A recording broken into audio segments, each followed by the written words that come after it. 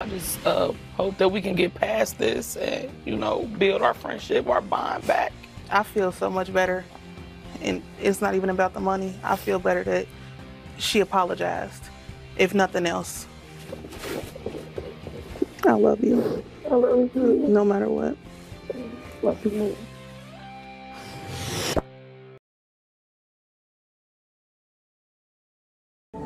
The following program is available in described video.